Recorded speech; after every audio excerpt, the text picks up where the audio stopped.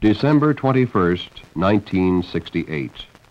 The shortest day of the year, but in significance, perhaps one of the longest in the flow of history. This is Apollo Saturn Launch Control. We are still go at this time. T minus 15, 14, 13, 12, 11, 10, 9. We have ignition sequence start. The engines are armed.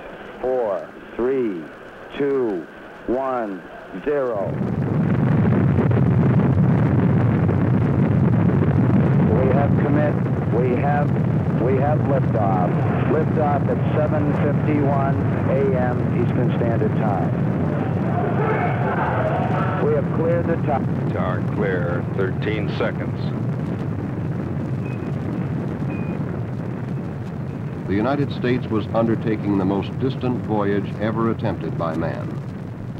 For the first time, three Americans rode the Saturn V moon rocket.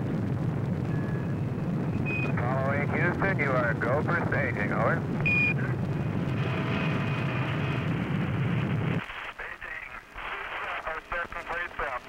All roger, understand, sir.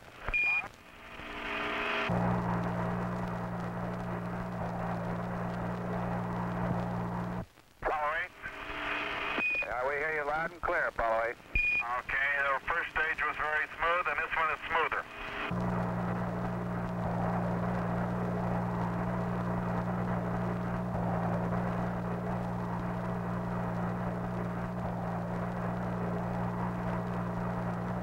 Apollo 8 Houston, your trajectory and guidance are go, over. Thank you, Michael. Yeah, you're looking real good, Frank. Frank Borman, Jim Lovell, and Bill Anders were about to leave their cradle Earth and face the infinite frontier. Apollo 8 Houston. Go ahead, Houston. Apollo 8, you are go for TLI, over.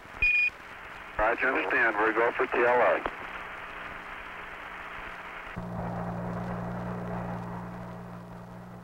TLI, Translunar Insertion. This was the commitment. Borman, Lovell, and Anders were ready for the maneuver that would send them to the moon. As the world listened and watched, its people were overtaken by a new awareness, an awareness that they were perhaps witnessing the overture to the ultimate destiny of man. Lovell confirms ignition.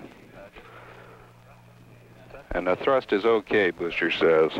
On board the spacecraft and in mission control, the men of Apollo 8 watched the readouts. Velocity buildup in feet per second. The numbers snowballing toward the velocity that would allow the spacecraft to escape Earth's gravity. And Borman says we've got SECO. Cutoff was right on the second.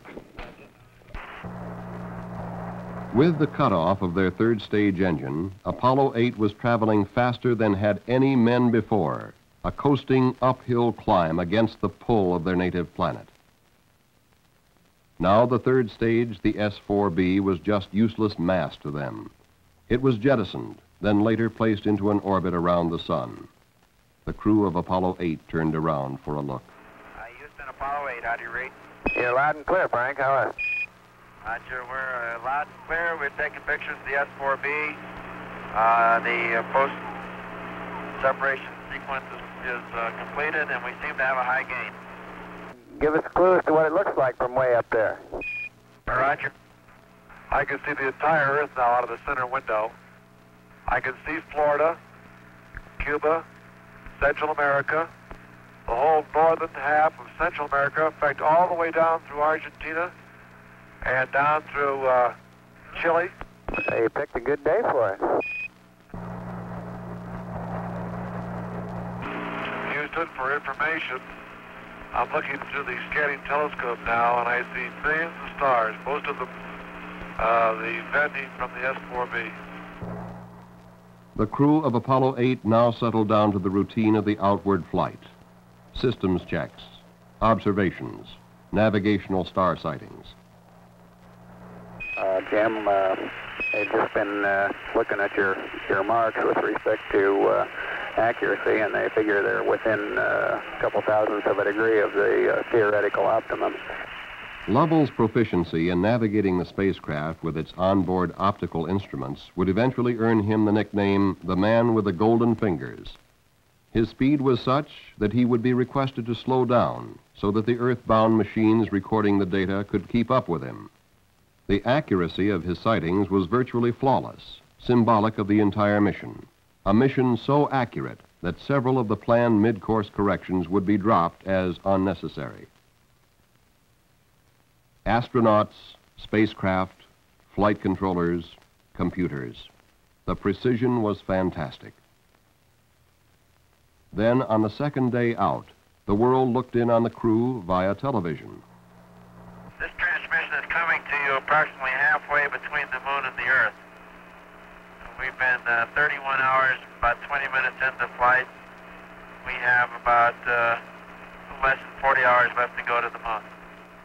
So Apollo 8 glided on silently, farther from Earth than man had ever before been. A microscopic dot of life in the cosmic void. Around the world, in Goldstone, California, Madrid, Spain, Canberra, Australia, the gigantic antennas of the Deep Space Network tracked Apollo 8, received its communiques, picked up the voice of its telemetry. Only for the 40 minutes of its transit behind the moon on each orbit would Apollo 8 lose contact with Earth. Then, on the day before Christmas, the network zeroed in on the spacecraft television antenna for the second broadcast to Earth. All right, you're all looking at yourselves as seen from 180,000 miles out in space. Mike, what I uh, keep imagining is if I'm a, some lonely traveler from another planet, what do I think about the Earth from this altitude? Whether I think it'd be inhabited or not. You don't see anybody waving, is that what you're saying? Well, I'm just kind of curious uh, whether I would land on the blue or the brown part of the Earth. You better hope we land in the blue part. Shortly after they turned off the television camera, Borman, Lovell, and Anders ended their long climb away from Earth. Crossing the point where the gravity of Earth and Moon just balanced, they became the first men to fall toward another celestial body. Now the time approached for the most immense commitment of the mission Lunar Orbit Insertion, LOI. A burn of the service module engine would place Apollo 8 into orbit around the moon. Up to this time, without further major maneuvers, the spacecraft would loop around the moon and return to Earth. Once the burn was made, Apollo 8 would be held by the moon's gravity field until a later burn would push it free. Apollo 8, this is Houston at 6804, your goal for LOI. Okay, Apollo 8 is go. Uh, you're riding the best bird we can find. Lunar orbit insertion would take place on the backside of the moon. With the moon between the spacecraft and the Earth, all contact would be lost until it appeared on the other side. In mission control, they anticipated LOS, loss of signal, from Apollo 8. We'll see you on the other side. Now, mission control and the world could only wait. Wait for the first contact with Apollo 8 as it emerged from behind the moon. We've got it. Uh, we've got it. Apollo uh, 8 now in in lunar orbit. Uh, there's a chair in the, this room. Uh, this is Apollo Control Houston. Uh, switching now to the voice of Jim Lovell. By 60.5. Good to hear your voice. The burn was as close to perfect as possible. Later burns would circularize the orbit, and the three astronauts would circle the moon 10 times in 20 hours. Sunrise, sunset, every two hours on an alien world. And they would take pictures, still photographs as well as motion picture film, here seen at a much faster rate than orbital velocity. Uh, Apollo 8, Houston, uh, what does the old moon look like from 60 miles? Over. Houston. The moon is essentially gray. No color. Looks like plaster of Paris. Or uh, sort of a grayish beach sand. We can see quite a bit of detail. Uh, the crater, craters are all rounded off. There's quite a few of them. Some of them are newer. Many of them look like, uh, especially the round ones, look like uh, hit by meteorites or projectiles of some sort. Langrenus is quite a huge crater. It's got a central cone to it. The walls of the crater are, are terraced Uh, about uh, six or seven different terraces on the way down.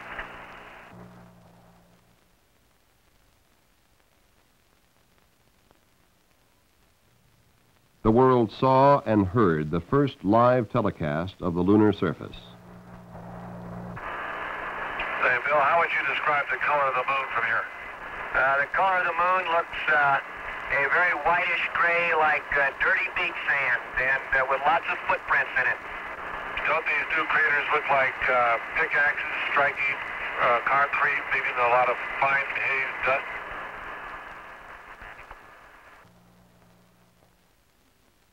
Scientist, engineer, astronaut, the world, all followed the progress of Apollo 8. For this was preparation, an advanced scout marking the way for those who would follow, those who would orbit, those who would land, navigate, track, observe, record, describe. There's no trouble picking out uh, features that we learned on the map. Certainly looks like uh, we're picking the more interesting parts of the moon to land in. The backside uh, looks like a sand pile my kids have been playing in for a long time. It's all beat up, no definition, just a lot of bumps and holes.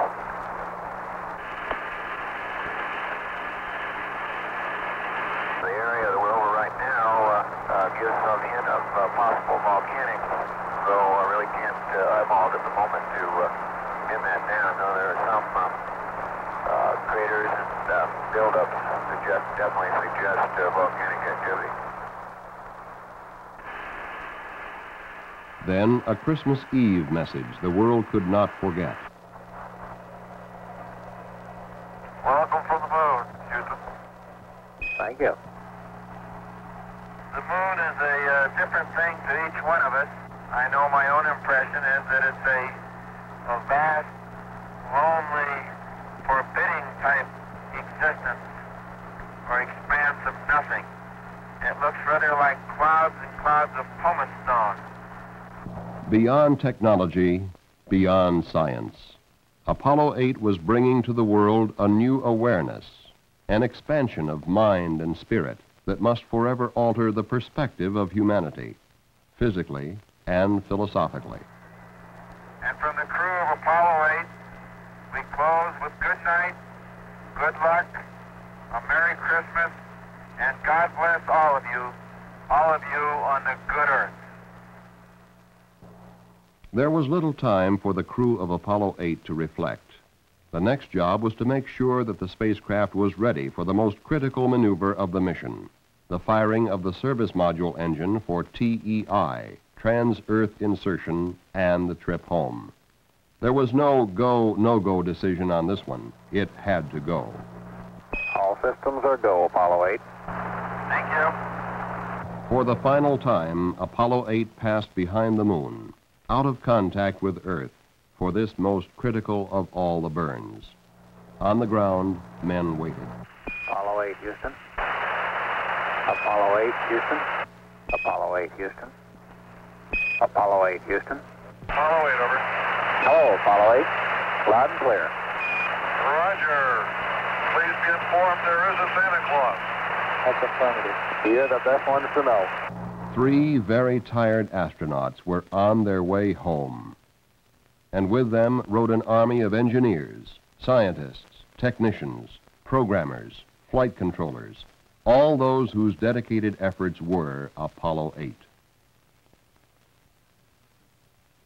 After catching up on their rest, homeward bound, there was more a mood of elation, contrasted with the outbound loneliness.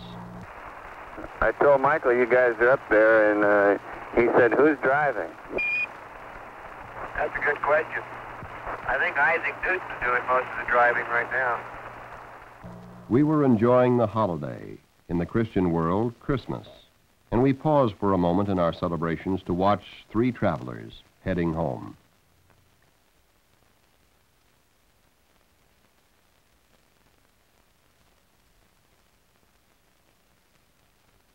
As many of us sat down to our Christmas meal, Borman, Lovell, and Anders were enjoying theirs. It appears that we did a grave injustice to the food people. Santa Claus brought us some a TV dinner each, which is delicious. Turkey and gravy, cranberry sauce, grape punch, Morning, Jim. Glad to hear it. You know, we're down here eating cold coffee and bologna sandwiches. As on the way out, there were periods of work. The navigational ability of the spacecraft and crew was proving phenomenal. And periods of rest, a single man on watch. Well, Ken, that just leaves you or I. How about uh, you and I? Anything exciting happen today? Real quiet down here. Uh, everybody's smiling. Everything's pretty pretty calm, like it should be on Christmas. Very good. Yeah, Milt says we're in a period of relaxed vigilance. Very good. We'll relax. You be vigilant. The final television transmission, 97,000 miles out, farther than man had been on any previous mission, but now tantalizingly close to home. I uh, think I must have the feeling that the travelers in the old sailing ships used to have. We're going on a very long voyage away from home, and uh, now we're headed back. And uh, I have that feeling of being proud of the trip, but still, uh, still happy to be going back home and back to our home port. Every second brought the spacecraft closer to its fiery entry, the final plunge to the safety of Earth. On the morning of December 27th, the word was given to Apollo 8. The pyrotechnic devices that would separate the command and service modules prior to entry were armed. Apollo 8, Apollo 8. Your go for pyro arm. Everything's looking good. Roger, everything's looking good here, Ken. On schedule, the command module jettisoned the service module to expose the main heat shield, aligned itself to entry attitude, and slammed into the atmosphere at 25,000 miles per hour, faster than man had ever traveled until Apollo 8.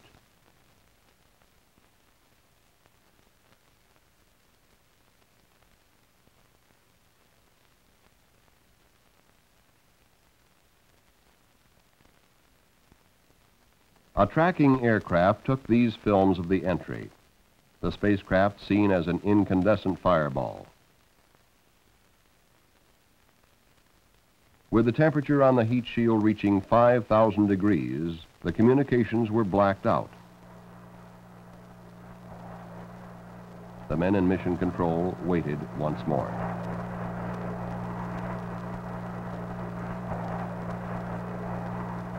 Ken Mattingly just put in a call and just frankly labeled it a radio check. He's gotten no responses yet.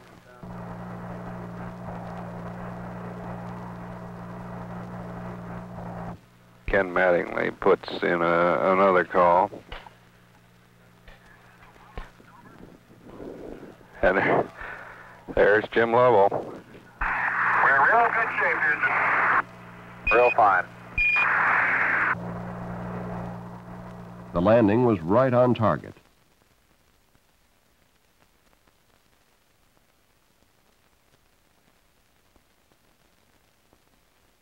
Later, Frank Borman would report passing over the recovery ship as Apollo 8 drifted down toward the sea on its parachutes.